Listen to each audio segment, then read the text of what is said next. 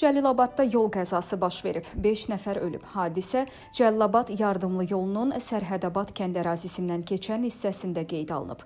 İlkin məlumata görə qəza zamanı 5 nəfər ölüb. Hazırda ölənlərin şəxsiyyəti dəqiqləşdirilir. Faktla bağlı araşdırma aparılır. Fərqli formatlarla işləyirik. Altılıq formatına gəldikdə isə tərəflər kommunikasiya xətlərinin açılması prosesində maraqlıdırlar.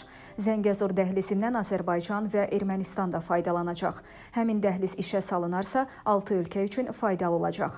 Bunu Azərbaycanın Xarici İşlər naziri Ceyhun Bayramov Antalya diplomatiya forumu çərçivəsində Cənub Qafqazda inklüziv sülhün perspektivi mövzusunda keçirilən panel müzakirələrində deyib. Bəziləri Gürcüstanın bundan kənar qalacağını deyir lakin bu doğru deyil. Gürcüstan da dəhlizdən istifadə edə biləcək. Zəngəzur dəhlizi həyata keçirilsə, Gürcüstanın bağlı olmadığı İranla birgə dəmir yolu xətti açılacaq, nazir vurğulayıb.